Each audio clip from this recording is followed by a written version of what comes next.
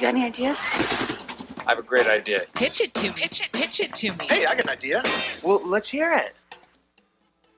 Hello, I'm Rick Potter. I'm introducing the Any Corner Finisher.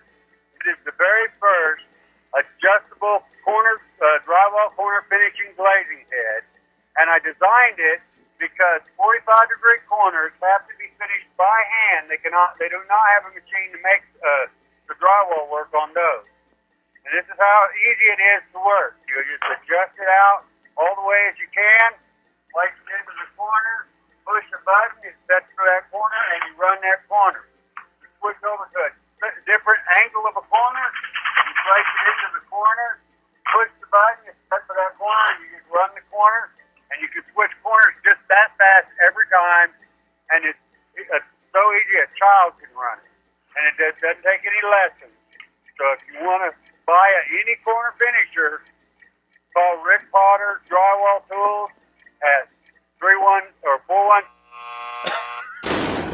Make or break an inventor. Be our shark and vote. Be bold and submit your product. What the heck? You could only make millions.